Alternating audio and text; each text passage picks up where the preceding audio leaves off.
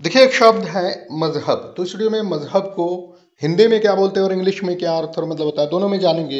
Example से sentences में शब्द को यूज़ करके अच्छी तरह से समझेंगे।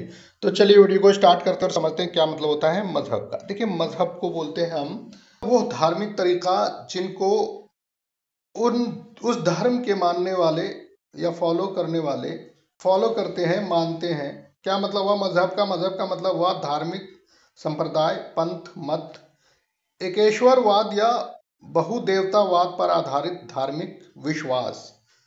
मतलब धर्म, दीन, ईमान, भक्ति को हम मज़हब बोलते हैं।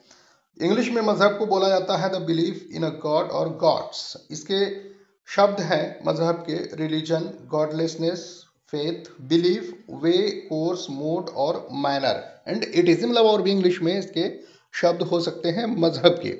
अब एग्ज़ाम्पल से सेंटेंसेस में समझते हैं, जैसे बोलेंगे आम बोलचाल में तो इस तरह से शब्द को प्रयोग करेंगे कि इंडोनेशियाई लोग यह कहने में गर्व महसूस करते हैं कि इस्लाम हमारा मज़हब है, लेकिन रामायण हमारी संस्कृति है। मतलब इंग्लिश में Indonesians are proud to say that Islam is our religion but Ramayana is our culture दूसरा एग्ज़ाम्पल है कि मलेशिया का आधिकारिक मज़हब इस्लाम है।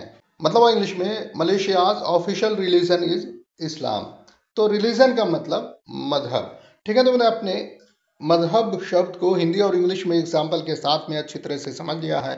Thanks for watching Educare days